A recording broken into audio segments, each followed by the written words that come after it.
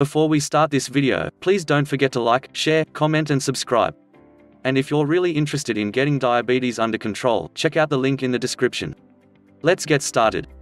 How can you tell if you have diabetes? Most early symptoms are from higher than normal levels of glucose, a kind of sugar, in your blood. The warning signs can be so mild that you don't notice them. That's especially true of type 2 diabetes. Some people don't find out they have it until they get problems from long-term damage caused by the disease. With type 1 diabetes, the symptoms usually happen quickly, in a matter of days or a few weeks. They're much more severe, too. Early signs of diabetes.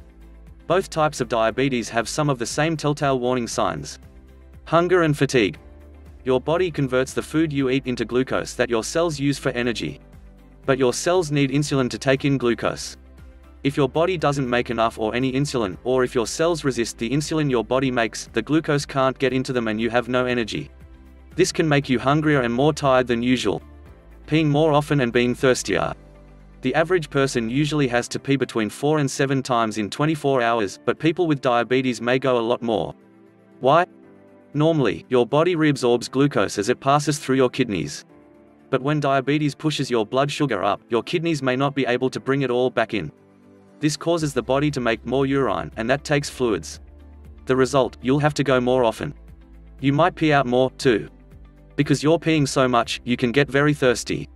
When you drink more, you'll also pee more. Dry mouth and itchy skin. Because your body is using fluids to make pee, there's less moisture for other things. You could get dehydrated, and your mouth may feel dry. Dry skin can make you itchy. Blurred vision. Changing fluid levels in your body could make the lenses in your eyes swell up. They change shape and can't focus. Symptoms of type 2 diabetes. These tend to show up after your glucose has been high for a long time. Yeast infections. Both men and women with diabetes can get these. Yeast feeds on glucose, so having plenty around makes it thrive. Infections can grow in any warm, moist fold of skin, including between fingers and toes, under breasts, in or around sex organs, slow healing sores or cuts. Over time, high blood sugar can affect your blood flow and cause nerve damage that makes it hard for your body to heal wounds pain or numbness in your feet or legs. This is another result of nerve damage. Symptoms of type 1 diabetes. You might notice unplanned weight loss. If your body can't get energy from your food, it will start burning muscle and fat for energy instead. You may lose weight even though you haven't changed how you eat. Nausea and vomiting. When your body resorts to burning fat, it makes ketones.